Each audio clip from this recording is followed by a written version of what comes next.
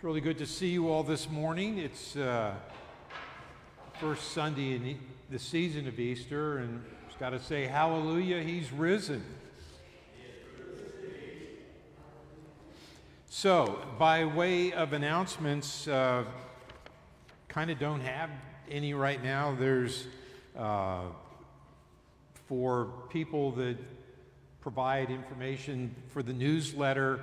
Teresa is looking to have those in by the 21st, and uh, you are also in, everyone invited to a tea on April 30th at 2 o'clock in the afternoon here at the church. And the purpose of the tea is to, um, how shall I put this? Habitat for Humanity.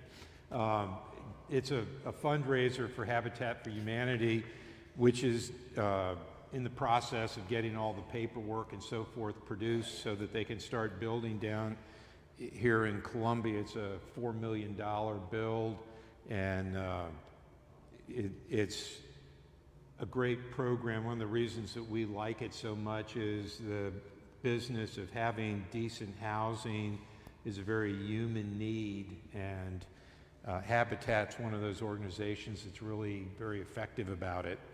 Have a couple of things coming up educationally that uh, on Wednesday I have invited uh, a local pastor by the name of Mark Chavez, who uh, I've known since 2000. Mark was once upon a time an ELCA Lutheran pastor, and he was involved in the creation of the North American Lutheran Church. And they have a congregation that is not far from us. And we had one of our members leave here and join that congregation, and it's produced some questions like, what's that about? Who are they? And so forth. And so I asked Mark if he would come and sit down and just tell us who they are and, and so forth. Uh, so that's on Wednesday. And then next Sunday, during the adult class, we have a representative from Water Street Mission that's going to take the whole class and then do a temple talk in the worship service. Water Street is the premier uh, social outreach ministry here in Lancaster County and has been for 144 years, which I think is pretty amazing. And it's the place that we send people that uh, have nowhere to live, they don't have any food, etc. Water Street has the resources to help those people right away and in very responsible ways. So got some guests coming in to tell us things that we might not otherwise know. So, those are the announcements, and uh, I invite you to stand and join in the beginning of our service, which will be a thanksgiving for baptism. So, hallelujah, Christ is risen. Blessed be the Holy Trinity, one God by whose hands we are given new birth, by whose speaking we are given new life. Joined to Christ in the waters of baptism, we are welcomed, restored, and supported as citizens of the new creation. Let us give thanks for the gift of baptism. Holy God, holy and merciful, holy and mighty, you are the river of life. You are the everlasting wellspring. In mercy and might, you have freed us from death and raised us with Jesus, the firstborn of the dead. In baptismal waters, our old life is washed away, and in them we are born anew. Glory to you for oceans and lakes, for rivers and streams Honor to you for waters that wash us clean, quench our thirst, and nurture both crops and creatures. Praise to you for the life giving water of baptism, the outpouring of the Spirit of the new creation.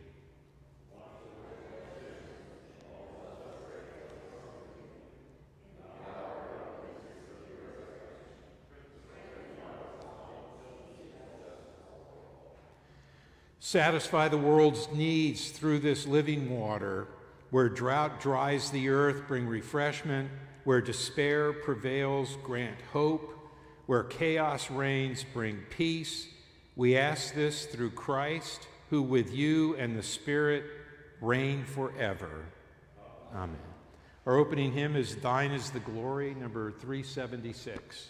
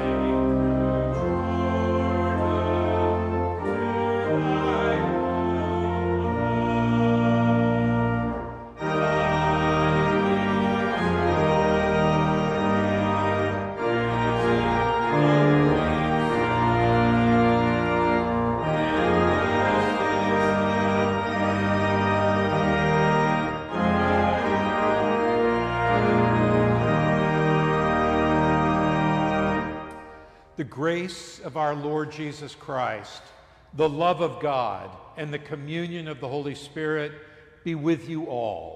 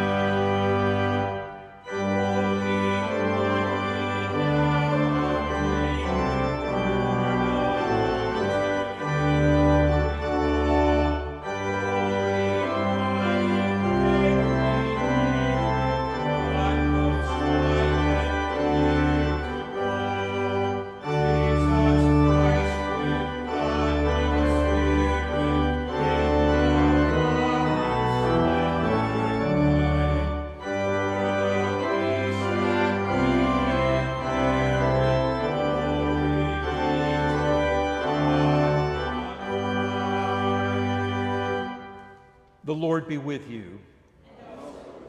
Let us pray. Almighty and eternal God, the strength of those who believe and the hope of those who doubt, may we who have not seen have faith in you and receive the fullness of Christ's blessing, who lives and reigns with you and the Holy Spirit, one God, now and forever. Amen.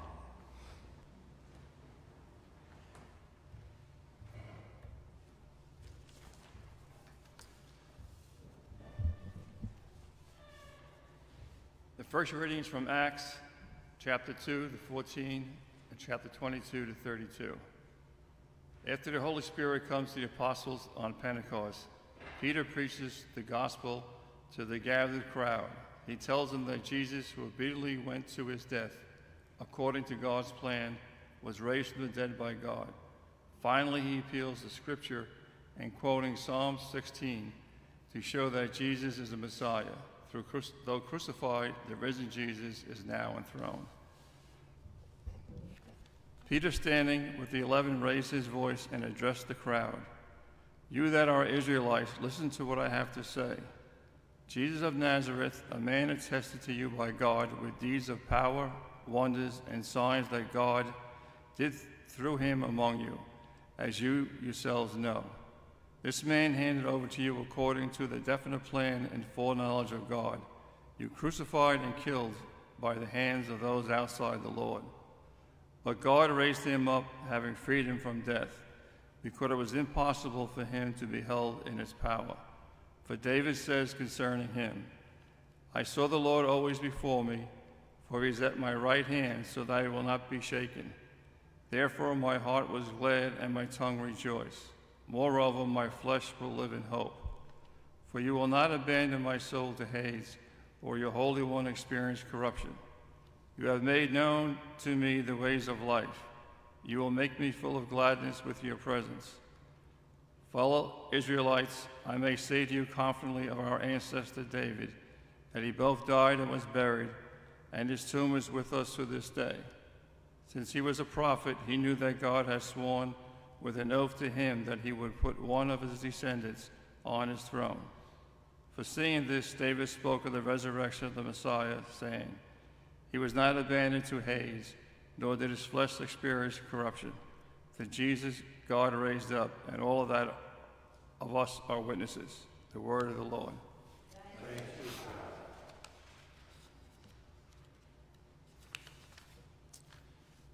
Psalm 16. Let us pray together. Psalm 16 responsibly. Protect me, O God, for I take refuge in you. I have said to the Lord, You are my Lord, my good above all other. All my delight is in godly that are in the land, upon those who are noble among the people. But those who run after other gods shall have their troubles multiplied. I will not pour out drink offerings to such gods, never take their name upon my lips.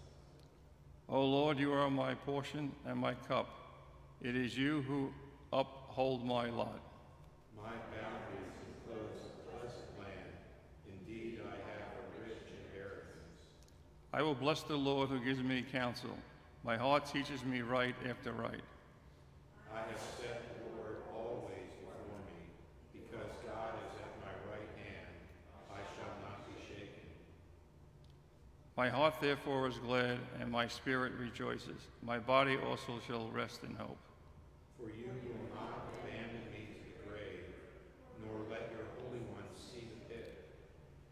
You will show me the path of life. In your presence there is fullness of joy, and in your right hand are pleasures forevermore.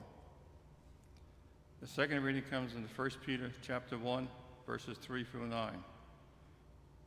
The epistle was written to encourage Christians experiencing hardships and suffering because of their faith in Christ. The letter opens by blessing God for the living hope we have through Christ's resurrection, even amid difficult circumstances and surroundings. Blessed be God and Father of our Lord Jesus Christ. By his great mercy, he has given us a new birth into a living hope through the resurrection of Jesus Christ from the dead, and into an inheritance that is imperishable, undefiled, unfading, kept in heaven for you, who are being protected by the power of God through faith for a salvation ready to be revealed in the last time. In various trials, so that the genuineness of your faith, being more precious than gold, that though perishable is tested by fire, may be found to result in praise and glory and honor when Jesus Christ is revealed. Although you have not seen him, you love him, and even though you do not see him now, you believe in him and rejoice with indescribable and glorious joy. For you are receiving the outcome of your faith, the salvations of your souls. The word of the Lord. Thanks. Holy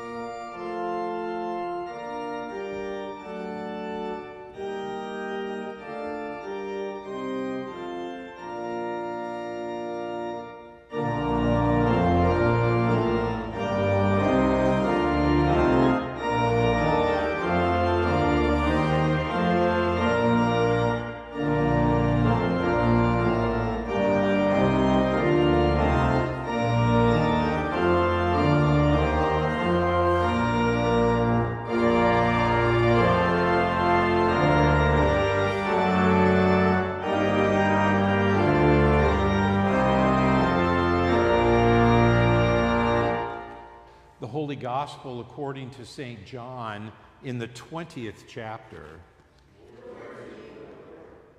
The risen Jesus appears to his disciples, offering them a benediction, a commission, and the gift of the Holy Spirit.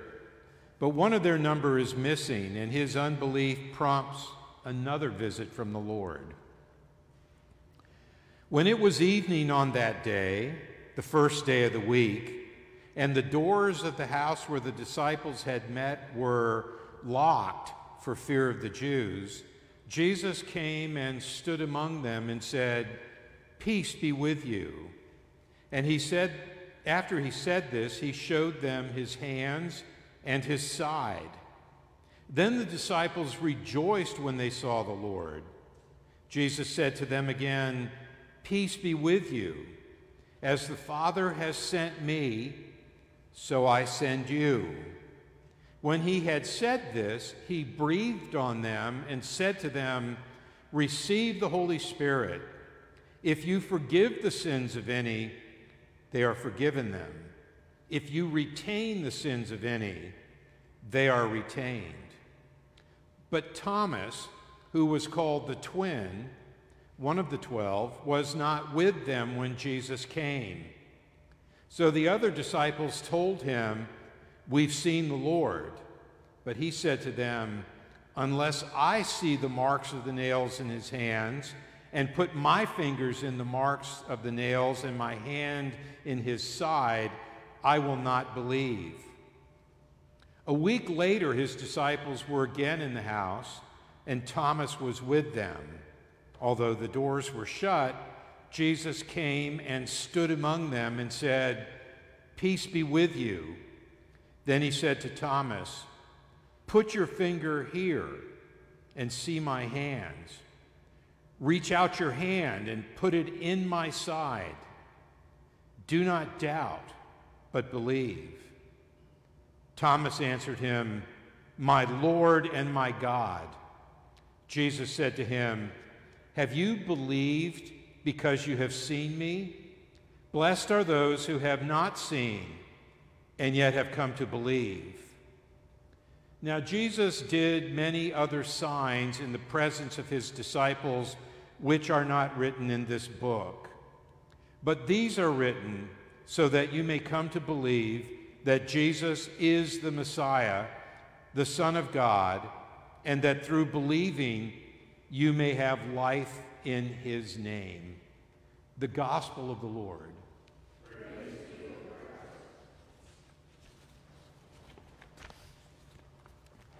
Well, grace to you and peace from God our Father and the Lord Jesus Christ.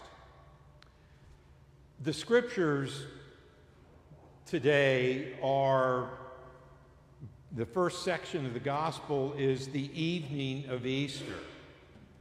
And if you can use your imagination a little bit to put yourself in the place of one of the apostles or one of the group of women that followed Jesus around or any of th- that entourage that traveled with him. And quite frankly, um, we don't really know who all's in that group because we get specific names mentioned, but there's others there. But if you put yourself in the place of a close follower of Jesus at the time, you are coming out of a, of a religious life, a spiritual life in which the hope of the Messiah is a, is a critical hope. And you're living in a time in first century Israel, in the Second Temple period, where the people, a remnant, came back from the Babylonian captivity, but it was not the glorious thing that some of the prophets had described. It was much more humble. The people felt as if the exile wasn't really over yet, and that the things that they had hoped for had not come true. It was not really a golden age.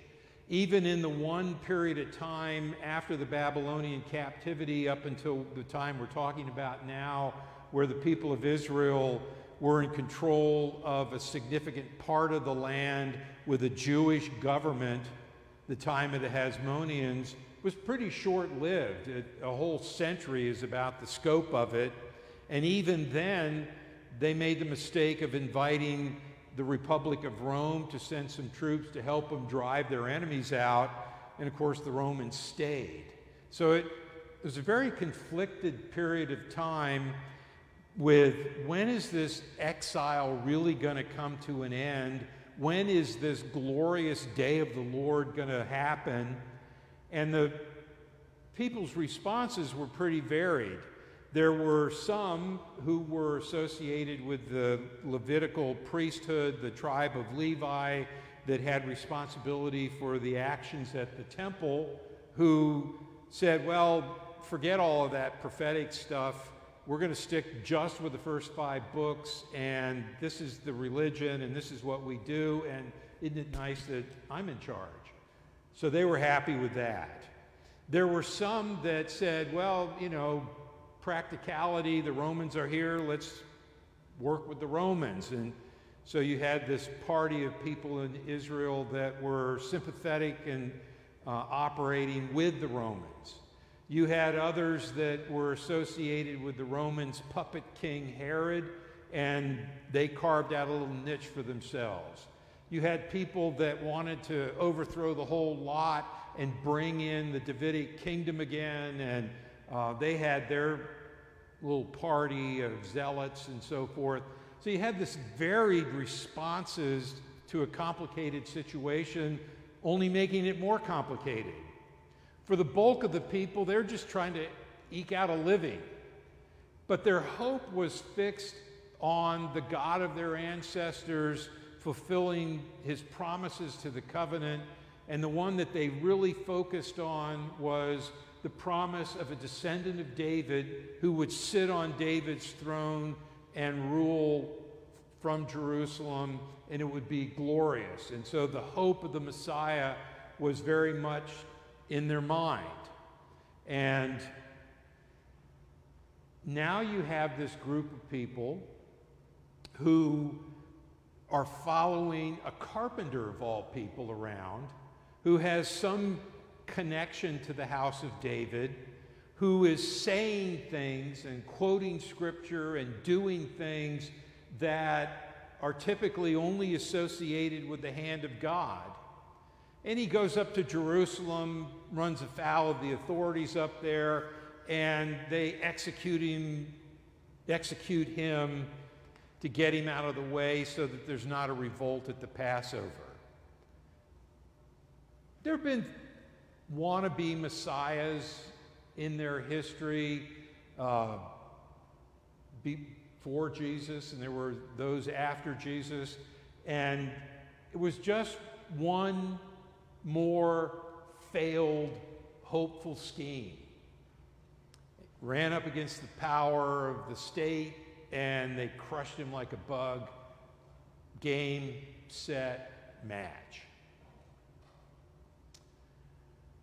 He has some devoted followers, a couple of people actually in government, Joseph of Arimathea and Nicodemus, who took a risk and they went and they got the body of Jesus and they took it to a tomb that Joseph owned and buried Jesus there, following the customs of, of the day.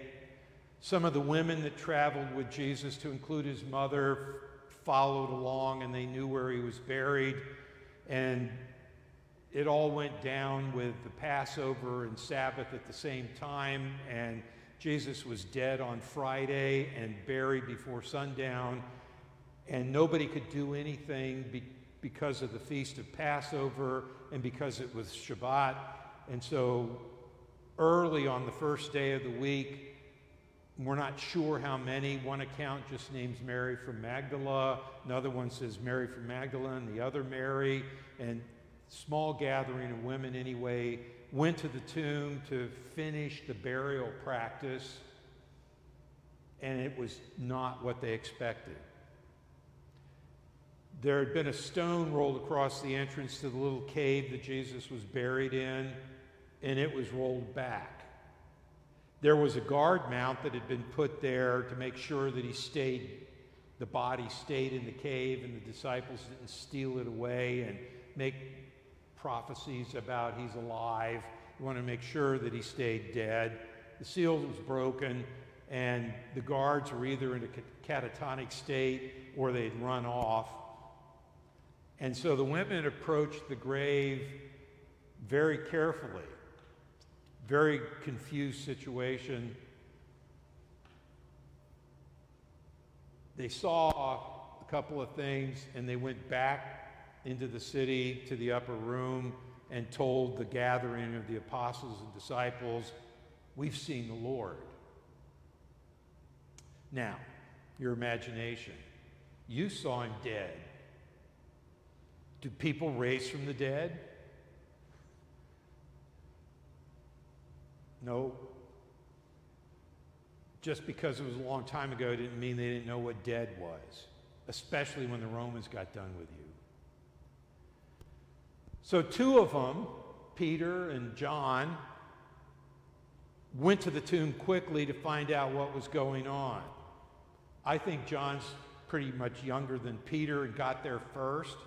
And he got to the entrance of the tomb and he looked in. Peter, being Peter, got there and went straight into the cave. John followed him in, and they saw.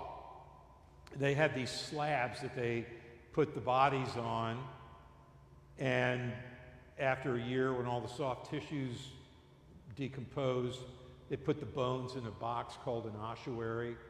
So the body of Jesus, with the shroud over him, should have been laying there on one of the slabs. The linen is still there, but the body's gone. What do you make of that? They go back to the upper room. Somewhere in that time, Mary from Magdala runs into a man and says, Where is his body? If you've taken it away, just tell me where you put him and I'll, I'll go get it. And the man speaks to her, Mary and she recognizes the voice and recognizes the man, and she calls him Rabboni, my teacher, and he says, Don't cling to me. So they've got these reports from women early, confirmed that the body's gone by Peter and John. Meanwhile, the disciples are kind of breaking up. A couple of them were headed home to Emmaus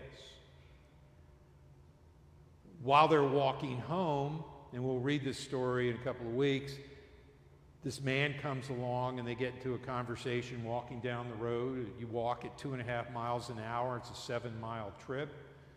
And they start talking about current events. And Clopas says to the stranger, We'd hoped that this Jesus was the Messiah. And the man says to him, You are really foolish. Did you not know that the Messiah had to come and suffer and die and on the third day rise? And then, as they're walking along, this stranger starts a Bible study, and he starts with Moses. And he goes through all of the prophets, telling them about the Messiah. So they get to their house in Emmaus, very small little village, and Clopas and the other disciple, who I think is his wife, invite the guy to stay overnight and get on his way in the morning. He agrees. And at dinner, they say, Will you say grace? And so he says, Baruch atah Adonai Eloheinu, and he tears the bread. And as he's breaking the bread, they suddenly recognize it's Jesus. He disappears. They immediately go back to Jerusalem. Are you in good enough shape to walk 14 miles in one afternoon and evening? Not me. I'd have slept for a couple of days and then gone back. But when they got back, they found out that the Lord's already been there. And that's what our first half of the gospel lesson was. Jesus came into the room even though the doors were locked. And he said to them, Shalom, peace be with you. And they're like freaking out because they know who he is and they can't believe it because he's supposed to be dead. Can you picture this and how you would feel? Dead, buried, now he's standing in the room with you. So Jesus does a couple of things. He says to them, I want to make sure I get this right Peace be with you, as the Father sent me. So he has taught them very carefully for an extended period of time about the Messiah and being sent, and so they know all these things. And so he reminds them, as the Father sent me on this mission, I'm sending you. If you are a follower of Jesus of Nazareth, first of all, you've got to come to terms with his being dead and bodily raised to life again. The resurrection validates everything that Jesus said and did. It's how you know who he is and you put your trust in that. As his follower, you go where he goes, you do what he does. We call him Lord, and Lord is not just a nice, you know, like Mr. or Mrs. kind of title. It means the one I listen to, the one that I obey the one that is in charge of the decisions that I make that make up my life. Okay? Think of dictator, boss, the one with whom you have to do to the exclusion of everybody else. We don't like the word master, but it conveys the relationship and the authority of what it means to be Lord. Resurrection validates Jesus of Nazareth as Lord. And he says, just like I was sent all the way to the cross, I'm sending you. Matthew will phrase what Jesus says as, as you go, which is cast in a tense that it's happening right now and then it's going to happen again, and then again, and again, and again, indefinitely into the future. As you go, you're sent. Once again, Matthew, to be a witness to who Jesus is to a world that is literally lost. Jesus says, I am the way, I am the truth, I am the life. We live in a country that has lost its way and has become completely alienated from truth. The great English journalist who became a Christian late in life, G.K. Chesterton, says that when people stop believing in God, stop putting their trust in the Lord God, it's not that they don't believe anything, it's that they'll believe anything. And that describes our age. We are sent into that world as disciples of Jesus who bear witness to the good news that our Creator is a loving Father who sent Jesus into the world to save us, to give us hope, to give us an inheritance, and that you will find life in this risen from the dead Jesus. We are supposed to be the witnesses of that. Now, just like in Matthew, in John, you get the same thing. You're not sent out there on your own strength. You are sent as one who is given the very Holy Spirit of God. And in this story, Jesus breathes on the disciples and says, Receive the Holy Spirit. And he exhales his breath on everyone in the room. The Spirit of the Lord God is now in the disciple of Jesus. So that as you're going, as you're being this witness, you have a profound, unbreakable connection with God Himself. You're not on your own. You're not alone. You're not without hope or strength. He ties up the bearing witness with the business of forgiving sins or not. We'll talk about that later, but it has to do with the very nature of the gospel itself. That Jesus Christ came into the world to save sinners.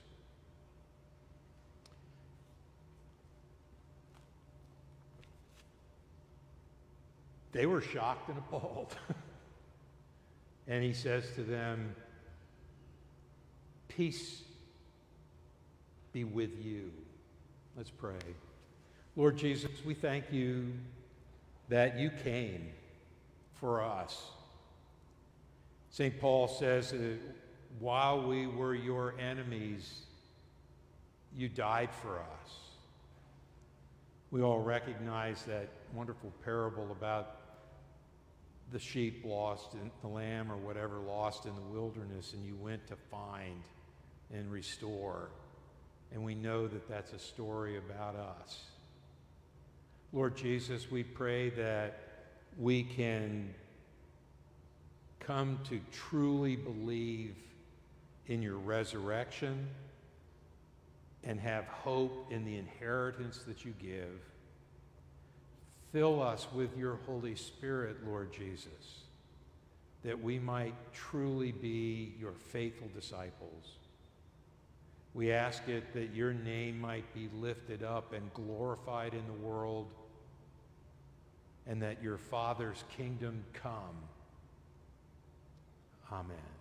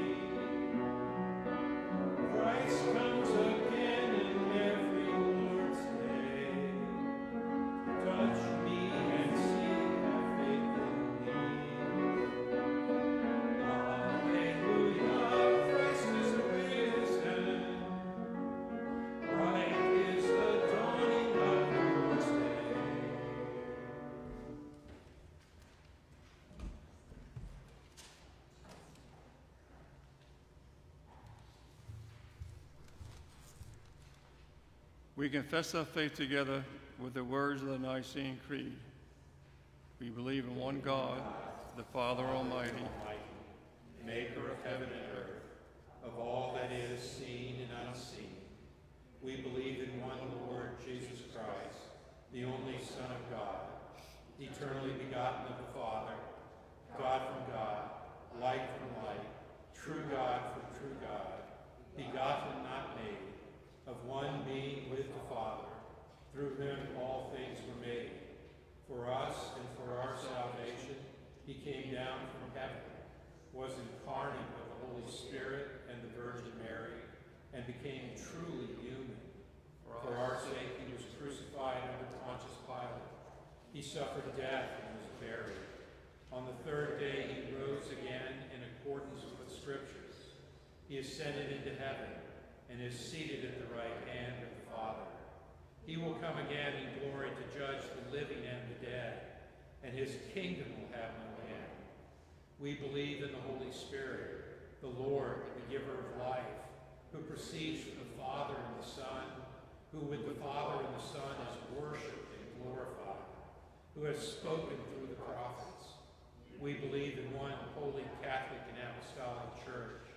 We acknowledge one baptism for the forgiveness of sins. We look for the resurrection of the dead and the life of the world to come. Amen.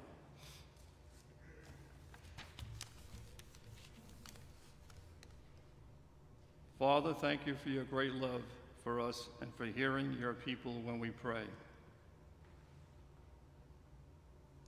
God of rebirth, the good news of your resurrection brings refreshment to a weary world. That you empower us to boldly share your radical love through our words and our works. As you breathe your spirit into the disciples, breathe your spirit of healing upon all creation. Nourish the earth with sufficient rains. That your strength helps us to counter the effects of pollution and destruction. You prepared the disciples for their ministry by calming their fears and granting them your peace. Equip our community's leaders. That you would guide them with a spirit of peace and hearts that burn for justice, that their leadership reflect your love. You come among us in unexpected ways. We pray for all who are poor in spirit, for the sick and those in need, especially. Mason, Ella, Patty, Brenda and Larry, Connie, George Podesso, Grizel Lopez, Gloria, Nancy, Donnie, Dawn, Georgianne, Greg, Jim and Jenny, George and Kathy, Mary Ruth, Sandy, Tom, Randy, Gianni, Jessica, Julian, Brooke, Alex, Glenn and Carol, Bobby, Kathy. That you would heal and deliver them from their distress. As you met the disciples on the road to Emmaus, show us your presence along our journeys. Bless our doubts and questions. That you provide trusting and safe relationships for all ages to nurture our connection to you and one another. Resurrecting God, you bring us to new life every day. Thank you for blessing us with companions on our faith journey. That we may be faithful ministers of the gospel and strengthen us with the eternal peace of your promises. Let us now pray for our own needs, the needs of others, and give thanks for the blessings of this life, either silently or aloud. Rejoicing in the victory of Christ's resurrection, we lift up our prayers and praise to you, Almighty and eternal God, through Jesus Christ, our risen Lord. Amen. The peace of the Lord be with you all.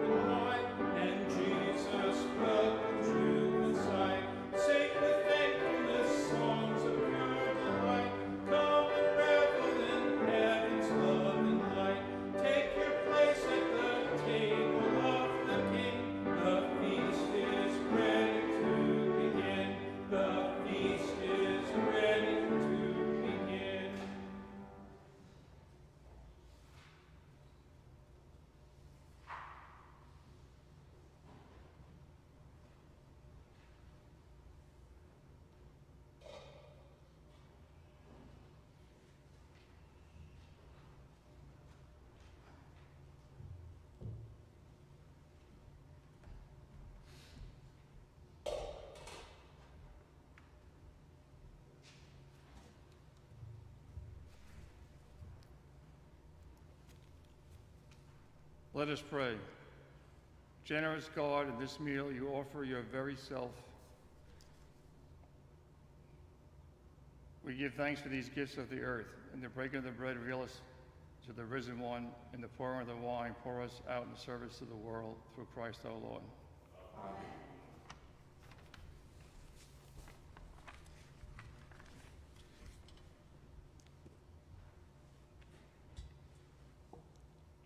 In the night in which he was betrayed, our Lord Jesus took bread, and when he had given thanks, he blessed it, broke it, and gave it to his disciples, saying, Take and eat.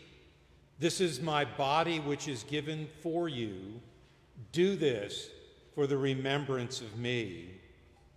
Again, after supper, he took the cup, and when he had given thanks, he gave it for all to drink, saying, This cup is the new covenant in my blood.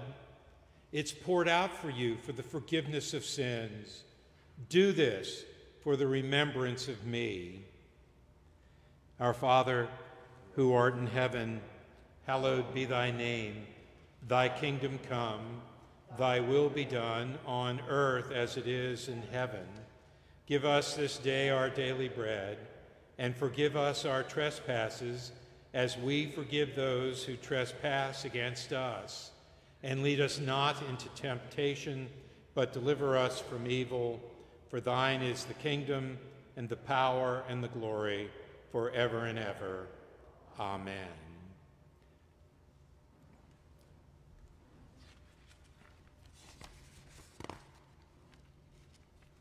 Come and know Christ, broken and poured out for you.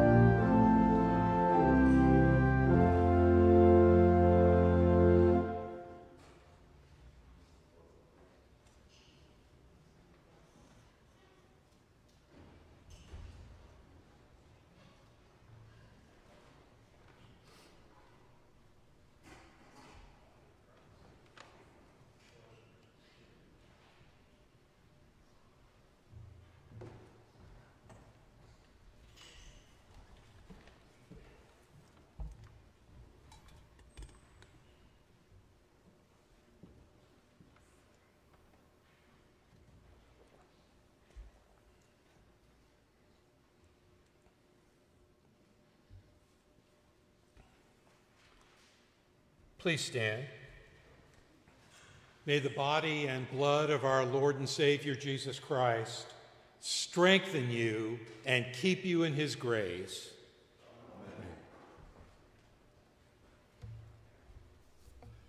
Let us pray. Gracious God, in you we live and move and have our being. With your word and this meal of grace, you have nourished our life together.